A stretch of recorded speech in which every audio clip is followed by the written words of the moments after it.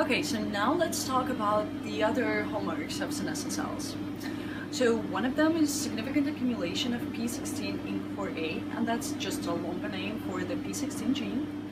And it's one of the major cell cycle regulators, and well, we should always remember that cells, the dividing cells, they um, uh, the newly formed cell after division grows and then it divides and then it grows and then it divides and it goes on and on and on in kind of like a circle and then uh, senescent cells they exit this circle um, after growth arrest. So P16 is one of those main uh, proteins that um, uh, sort of lead them into this growth arrested state.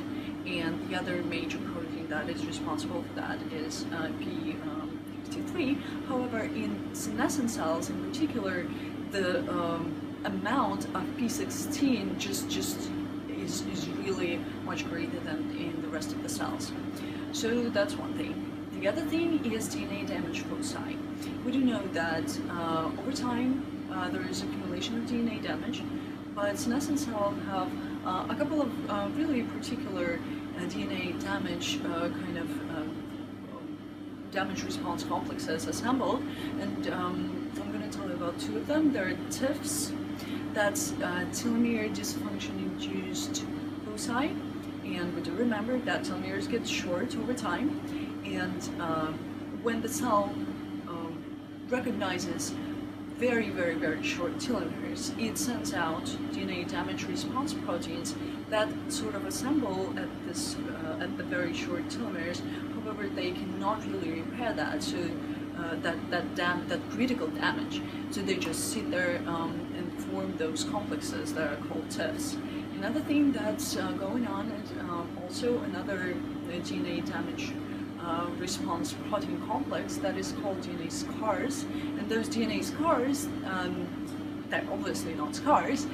scars stands for DNA segments with uh, chromatin alterations reinforcing senescence. And they are known to contribute to um, maintaining the senescent state. So the other thing that's going on is formation of senescent associated heterochromatin foci. What's heterochromatin? Heterochromatin it means just densely packed DNA. DNA, um, are, well, the, the, DNA threads, uh, they're called chromatin. So the uh, chromatin that is less dense is called euchromatin, and the genes that are in those regions, they can be easily uh, transcribed, well, they work, they're active, they can produce protein, they can be transcribed, but the ones that are within the heterochromatin, uh, heterochromatin regions, they are just, um, they cannot be reached by the uh, uh trans translation and transcription machinery.